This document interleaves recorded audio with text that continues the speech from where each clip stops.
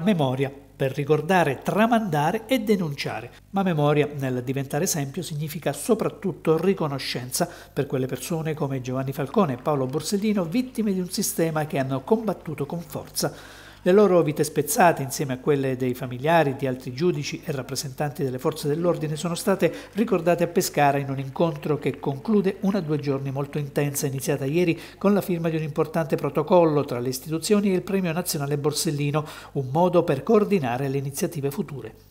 La memoria del resto rimane l'unica vera arma per mobilitare la coscienza civile.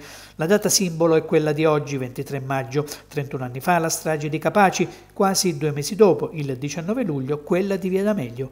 Commemorare queste dolorose ricorrenze significa rafforzare l'impegno delle istituzioni nella lotta alla criminalità organizzata e promuovere in ogni sede la cultura della legalità, soprattutto a beneficio delle giovani generazioni. Il questore di Pescara, Luigi Liguori. È un'eredità enorme quella che hanno lasciato ed è compito nostro quello di trasmetterla ai giovani perché molti dei ragazzi che sono qua dentro ne hanno sentito parlare soltanto dai, dai genitori oppure dagli insegnanti perché il tempo è passato. La cattura qualche mese fa di Messina Denaro significa che è un anno zero della mafia? Ma guardi, io, mh, i criminali sono sempre esistiti e esisteranno, io non credo che esista un anno zero.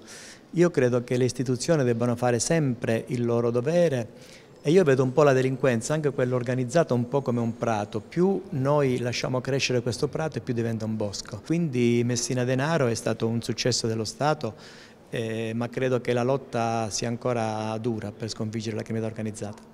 Chiusura con la voce della scuola, nelle parole di Daniela Puglisi dell'ufficio scolastico regionale. E l'attività delle scuole non si ferma e non è limitata soltanto a queste giornate, rientra nell'azione didattica quotidiana di tutti gli insegnanti, per cui noi continuamente nelle scuole abbiamo percorsi di legalità. Il lavoro straordinario delle scuole eh, va fatto e va anche incrementato, eh, però non può essere solo la scuola a ricordare. Che cosa possiamo fare noi? Guardi, devo dire che noi qui a Pescara viviamo una realtà forse virtuosa, nel senso che noi abbiamo delle sinergie con le istituzioni molto forti. Certo la scuola non può essere lasciata sola ad affrontare un problema così grande, però devo dire che qui la viviamo in maniera condivisa, partecipata da parte di tutti.